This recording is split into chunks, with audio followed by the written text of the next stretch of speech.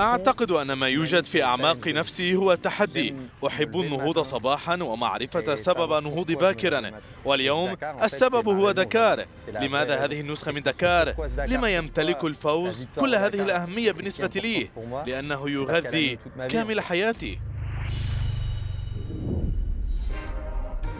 كانت لدي ذكريات مذهلة مع ياماها لقد عرفوني على دكار وكانوا أول من تكلم معي حول المشاركة. وجدوا في إمكانيات أن أصبح دراجا ناجحا. سأبقى شاكرا لهم على الدوام وقد فزنا بسباق لوتوكي ثلاث مرات كذلك.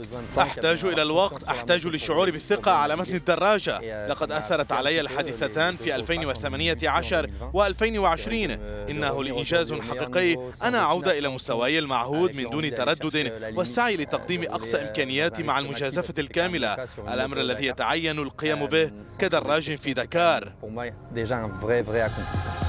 بعد 14 عاما مع ياماها يتجه أدرين فان بافرن إلى هوندا.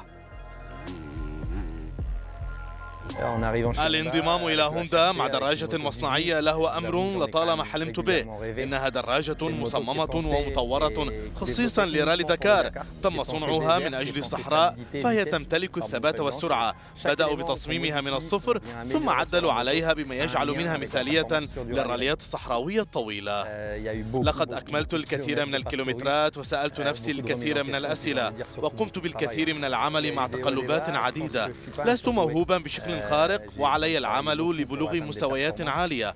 أحب العمل وتقديم كل ما لدي والضغط حتى الحدود القصوى. هذه هي طبيعتي وهذا ما أريد تحقيقه. اليوم أعتقد أنني في أفضل موقع لتحقيق الحلم الذي لطالما أردته.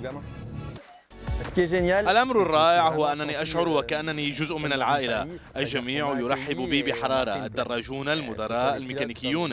أشعر بأنني في منزلي. لقد ارتكبت أخطاء في الماضي وبالتالي فإن تحقيق منصة التتويج سيمثل قفزة كبيرة في الأداء. خطوة أخرى باتجاه الحلم. ألا وهو الفوز بلقب رالي دكار